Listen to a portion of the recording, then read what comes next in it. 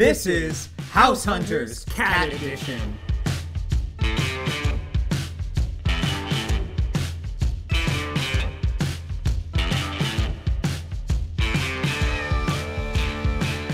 Cat is a 10 month old fella who's looking for a vacation home within his home in Astoria, Queens. He's also looking for a name.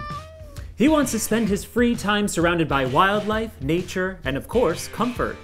So as you heard, our cat is looking for a vacation home and we're here to help him out. We had a budget of $20. Yes. With the $20, I purchased a basket, some fun little floral accents from the dollar store, and a fleece blanket. I purchased some floral accessories, some spackling, and and this pillow. And we also could pull anything we found around the house.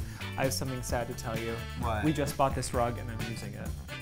I Booyah! Kind, I kind of guessed because he pulled it and had it out here. All right, so let's get crafty. I mean, one of our cat names we were thinking of was Coyote. So I pictured our cat Coyote in the desert. So I'm making an Adobe style Southwestern home out of a box and I'm gonna spackle it to give it that clay look. Mm-hmm.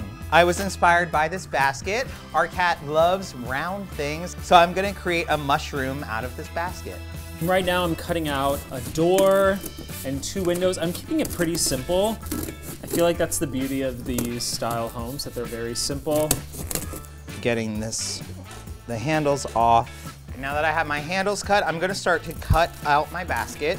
I'm gonna make a little opening here for him to go into, and then I'm gonna make two windows on the side. And then because this is a little rough, I'm just gonna outline the openings here with just a little bit of felt. So I'm just gonna start to use some hot glue and outline the edges here. I really like how this looks, but I feel like it needs a little more of an accent. I think I'm gonna make a swooped little roof. I'm doing this so the cardboard bends easier and it can give me a nicer curve, hopefully. It's going pretty well. I think I'm getting there. Andrew's got a helper. That's not God. fair. No, this feels like some cute sabotage. Good, good boy. Proud of you. Okay, I'm gonna attach, oh gosh. Ah. I'm gonna attach it to my house. Don't do that. It's a pretty good start. So now I'm going to attempt to spackle the outside. Again, I have no clue how this is gonna go. Fingers crossed. Let's see, this is some quick drying spackle. We had wooden dowels here. I think it's gonna be fun to just add some window detail. So I'm gonna paint these brown and then kind of add a little window sectional. We have a winner! Done. We'll see. I'm gonna start to work on my base for my mushroom house. This is a piece of sacrificial wood that we've had in our apartment for a few years now. It's time to get a new piece and I'm just going to add some burlap around the base um, and just use a staple gun to staple it together. I forgot I wanted to add some details, like a little window box. I'm gonna spackle over it all anyway. So I'm not worried about it looking too perfect. We also had all of these pieces of cork and this astroturf. I'm gonna paint some of the cork to look like brick um, to kind of outline his doorway. And then I'm gonna make some stairs, I think, using the astroturf and the cork. Not as easy I was, as I was hoping, but I think it's gonna give the look that I was hoping for. Okay, it's all dry.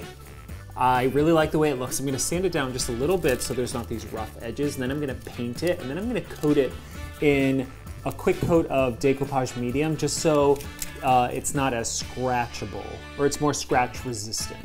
And I uh, just screwed up my screws in to drill my basket to my wood here.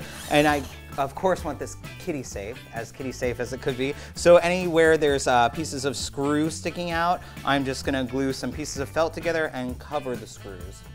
My stairs are all dry. I'm gonna give them a snip. I think I'm gonna start to create the tip of my mushroom. And we have this fun uh, furry fabric, which I'm gonna use to make kind of the little polka dots on the, the mushroom here. And then use some fabric glue to glue that down. Oh, he's checking it out. Yeah, go ahead, it's almost done. Check it out. Oh my gosh, does he fit? oh my gosh. We had this cute little uh, green fabric, and our baby here, he loves like crunchy, crumply stuff. Uh, so I held on to some of these plastic bags, and I'm just gonna wrap them up with the fabric and put this in as the base. I'm gonna start doing some uh, detail work. I have these square dowels to line the windows. I'm gonna paint them a nice bright blue, and I'm going to use these dowels as support beams. Okay, I just added another piece of cardboard just to reinforce it, because I'm gonna be putting a pillow on top. Having a little trouble getting my uh, flowers glued onto the base here, so I'm just gonna drill some holes, and I made little bouquets, and then I'm gonna glue them into the holes so I have some flowers popping up.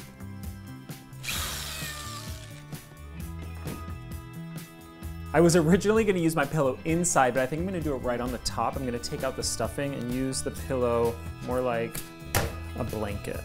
This was one of the cat's Christmas gifts that he does not use. So I'm just uh, putting my mushroom fabric on the pillow here and using that for the top of my mushroom. Wow, that looks great. Yours looks great. I love those colors. Uh, it was... I, a labor of love. Now it all comes down to what the cat House number one is an English Tudor style home with a mushroom cap top and mature landscaping with more mushrooms and grasses. Inside, there's some cozy fabric perfect for napping. Now on to house number two. This Adobe style home has a fresh coat of paint in a trendy ombre color scheme and a spacious rooftop deck. House number three is a spacious flat. Box. It comes in at free 99, which is significantly under cat's $20 budget. Which house do you think Cat should choose? And what should we name him? Let us know in the comments below and don't forget to give us a thumbs up and subscribe!